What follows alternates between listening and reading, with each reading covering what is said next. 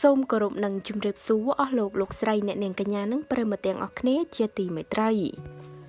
អោកសកុនកញ្ញាគ្មាន ប្រតិកម្មព្រៀបស្វាត់ដល់ចេញពីហងមេចាថាតើមូលហេតុអ្វីនោះបានជាអុកសកុនកញ្ញាគ្មានប្រតិកម្មឥឡូវយើងតាមដានព័ត៌មានលម្អិតទាំងអស់គ្នា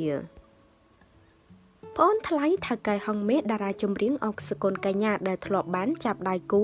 ច្រៀងឆ្លងឆ្លើយជាមួយលោកព្រៀបស្វាត់ដូចជាបន លះបង់ឲ្យអ្នកទី3រំចែលុយចំពាក់ពេលណាសងនិងចម្រៀងជាខ្សែរឿងជាច្រើនបទទៀតនោះនៅតែមិនទាន់មានប្រតិកម្មជុំវិញការចាក់ចែងនៃដៃគូចម្រៀងដ៏សំខាន់របស់នាងលោកព្រាបស្វណ្ណ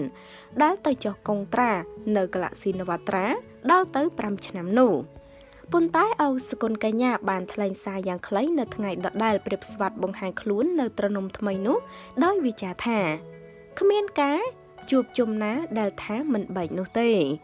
នាងថានេះគ្រាន់តែជាពាក្យចាស់ប៉ុណ្ណោះខណៈដែលក្រុមអ្នកគាំទ្រមួយចំនួនយល់ថាសកុនកញ្ញាចង់និយាយសម្ដៅទៅដល់លោកព្រះស្វាត់ដែលចេញពីហងមាសនោះដោយនាងចាត់ទុកថាជារឿងធម្មតាព្រោះតែគ្មានអ្នកណាអាចជួបគ្នាជាអមតៈនោះទេប៉ុន្តែតារាចម្រៀងរួមក្រុមជាមួយអុកសកុនកញ្ញាគឺពេជ្រសុភាបានប្រាប់អ្នកយកព័ត៌មានយើងថានាង មានការសោកស្ដាយចំពោះការចាក់ចែងរបស់ព្រាបស្វ័នតែនាងគោរពការសម្រេចចិត្តរបស់គាត់ហើយនាងមានតែជូនពរឲ្យគាត់ជោគជ័យក្នុងអាជីពមួយនេះតទៅទៀតក្រៅពីធ្លាប់ចាប់ដៃគូជាមួយព្រាបស្វាត់ទទួលបានជោគជ័យនោះអុកសគុណកញ្ញាក៏ជាតារាចម្រៀងស្រីនៅហងមាសដែលមានដៃគូឆ្លងឆ្លើយច្រើនជាងគេដូចជា នាងធ្លាប់ច្រៀងរួមជាមួយនឹងឆនសវណ្ណរាជនៅបញ្ញរិទ្ធនីកូនិងសួនពិសិដ្ឋជាដើម។ ប៉ុន្តែចាប់តាំងពីសកុនកញ្ញាបានរៀបការកាលពីថ្ងៃទី16ខែឧសភា2019និងពេលនេះមានកូនមួយមកគេមិនទាន់ឃើញតារាចម្រៀងដែលជាប្អូនថ្លៃរបស់ថៅកែហងមេរូបនេះ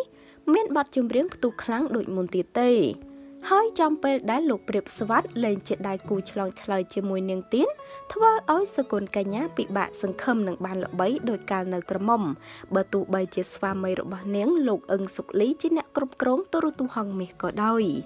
លោកនូសឹបអតីតតារាចម្រៀងហងមាសបានយល់ឃើញថាការដែលហងមាសបាត់បង់តារាចម្រៀងជួមុខគេព្រាបស្វាត់នេះធ្វើឲ្យផលិតកម្មមួយនេះប្រឈមនឹងការចុះខ្សោយជាងមុនជាមិនខានឡើយ។ ចាមូលហេតុខ្លះៗនៃការមិនធ្វើឲ្យអុកស្គុនកញ្ញាមានប្រតិកម្មជាមួយនឹងការចាក់ចែងរបស់លោកព្រាបសវណ្ណដោយគ្រាន់តែបងហោសានិយាយថាគ្មានការជួបជុំណាដែលមិនបានបែកនោះទេ ដោយសារតែ ការសម្រេចចិត្តរបស់លោកព្រាបសវណ្ណគឺគ្រប់គ្នាតែងតែគោរពទៅតាមលោកលោកមានមូលហេតុនិងហេតុផលច្បាស់លាស់ ចាតើប្រិមិត្តយល់យ៉ាងណាដែរសូមចូលបញ្ចេញមតិម្នាក់មួយចាអរគុណណាស់បងប្អូនទាំងអស់គ្នាតេតងនឹងព័ត៌មាននេះដែរក៏សូមបញ្ចប់តែត្រឹមនេះសូមអរគុណសូមគោរពលា